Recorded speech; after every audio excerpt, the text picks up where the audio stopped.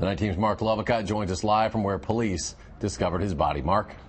Yeah, Eric and Sarah, we have learned within the last 10 minutes or so that police have positively identified the body as James Smith. He has been missing for the last 24 hours. The search area was extensive, covering many, many miles, but it was a reverse 911 call that led police here. 22,000 residents on Madison's east side got that phone call, a recorded message. A resident then checked the back of his property after receiving that message and then discovered Smith's body. I spoke with Smith's family earlier this afternoon. They told me they were extremely worried about James's well-being. His aunt say he suffers from seizures and they worried that he would not survive without his medication. That's why they were hoping for the best in the search for him. Again, James went missing on Sunday night. He does have severe cognitive disabilities. He also left without a coat and his family says with the overnight cold temperatures, that is what was concerning them as well. Police have not released a cause of death. They do tell us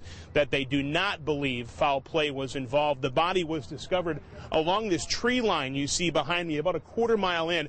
Again, it's about less than two miles from James' home when he went missing on Sunday night. We will continue to follow this story when police release more details on the exact cause of his death. We have, of course, will share that. Very sad story tonight. Mark Lovicott reporting from Madison's East Side. Mark, thank you.